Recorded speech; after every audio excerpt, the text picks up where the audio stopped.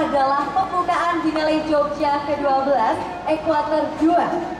Dan tentu saja karena sudah bersiap-siap juga, kita akan melihat langsung Pak Tisna Sanjaya akan berkolaborasi dengan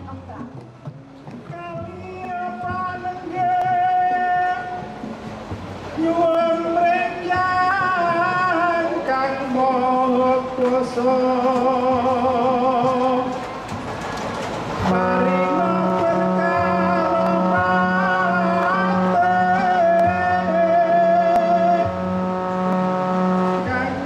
satya setyanipun nama matri budaya jawi. Dadya kiblating bangsa. Darapon sempulur yoko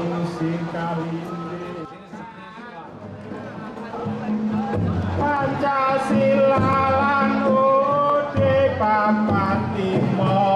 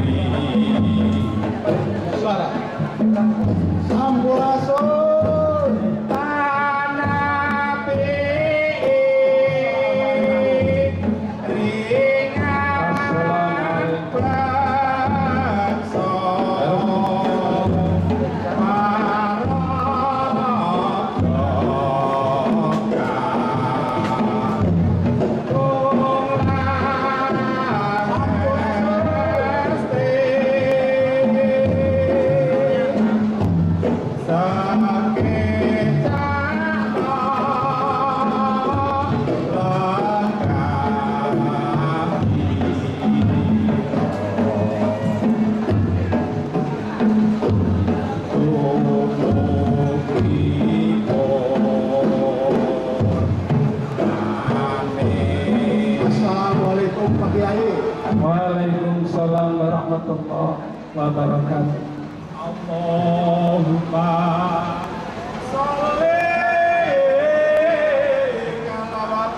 बसले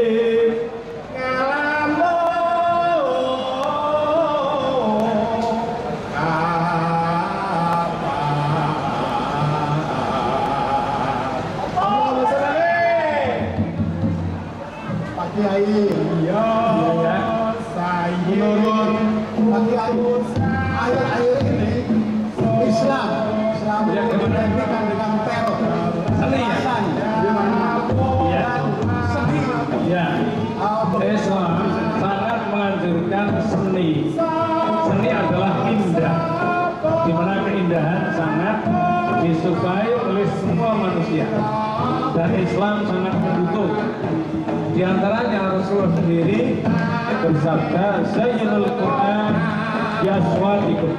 Hiasilah Al-Quran dengan suara. Berarti di sini seni suara. Ya satu saat pernah Rasulullah bersabda layak kulul jannah mangkana fi qalbi qalbi baratan min tidak akan masuk surga orang yang dalam hatinya ada sekecil dari rasa sombong. Ada seorang sahabat bertanya ya Rasulullah inna rajula yuhibbu ayakuna taubu hasanah wa na'lu hasanatan. Wahai Rasul orang itu senang kalau punya pakaian baik punya sandal yang baik. Rasul kemudian menjelaskan innallaha jamilun yuhibbul jamal. Allah itu indah mencintai hal-hal yang indah. Jadi hal-hal yang indah itu dicintai oleh Allah subhanahu wa ta'ala. Dalam bentuk apa pun juga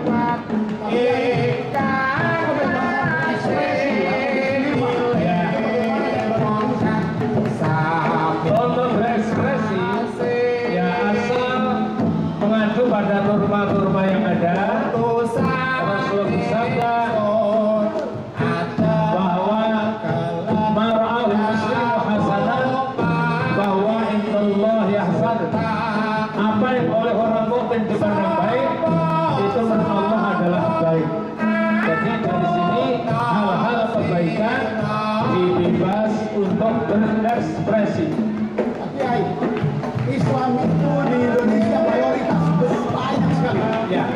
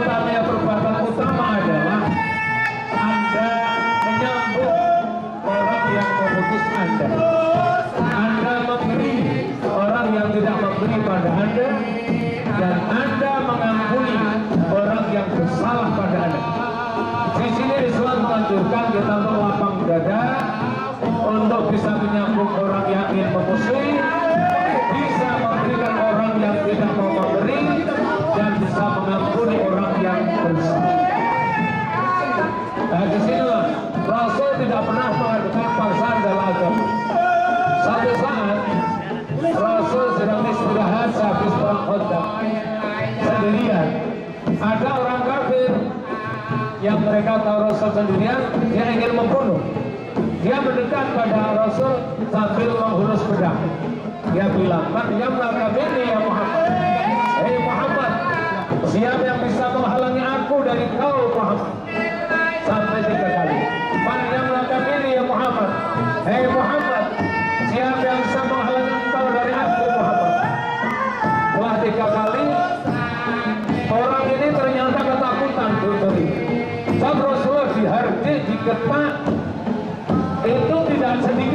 mentalnya turun. Rasulullah tetap menjawab dengan tenang, Allahul ladzi yamna'u minka ya Yusuf. Allah yang menghalangi aku dari bawah itu tuh. Saat itu orang kafir ketakutan, akhirnya pedang yang dipegang jatuh. Setelah jatuh dipegang oleh Rasulullah. Rasul ditanya, Man ya kau ini minka ya. Siapa yang bisa menghalangi aku dari engkau Yusuf? Yusuf nggak bisa menjawab karena tidak mengenal Allah. Dia bungkam seribu bahasa. Mudahnya dia sampai terkencing-kencing di tempat. Rasul tahu yang mengancam sudah ketakutan. Rasul kemudian menawarkan Islam. Ya Rasul, uridu an tasada ilaha illallah wa anni Rasulullah. Wahai Rasul, saya ingin Anda bersaksi tiada Tuhan selain Allah dan bersaksi bahwa Muhammad utusan. Tapi ternyata orang kafir ini ini belum dibuka hatinya. Dia jawab, "La walakin wahid juga Allah ufatilaka wala tuna man yufatiluna." Tidak Muhammad, kalau saya dirusak dan tidak, tapi saya berjanji, saya tidak akan memusuhi orang yang mem- membunuh kau, saya tidak akan uh, memusuhi kau dan tidak akan membela orang yang musuh kau. Akhirnya oleh Nabi Muhammad apa? Orang ini dilepaskan, tidak dipaksa untuk masuk Islam. Padahal kalau dipaksa mesti dia ikut, tidak dipaksa. Dilepas, setelah dilepaskan dia pulang ke rumah ke kampungnya. Dia bilang sama orang kampung, ya ikhwani, situ khazanah. Wahai kawan-kawan, saya baru datang dari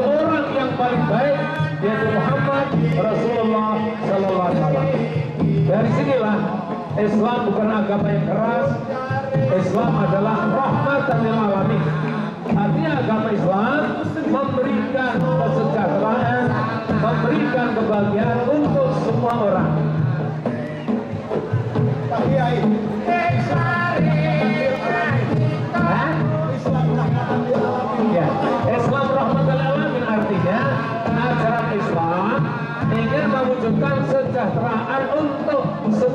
Manusia. Tidak hanya terbatas pada orang Islam, tapi seluruhnya akan merasakan kebaikan Islam.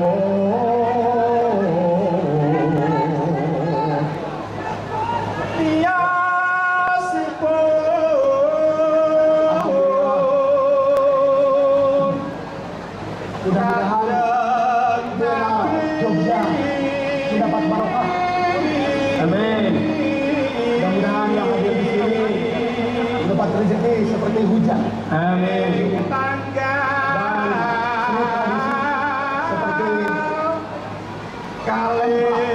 Mas Pak.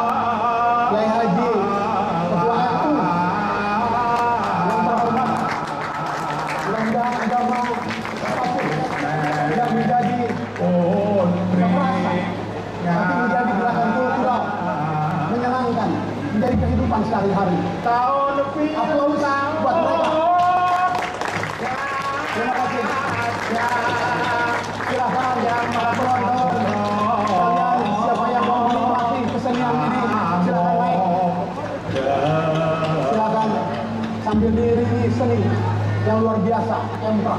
Sumatya.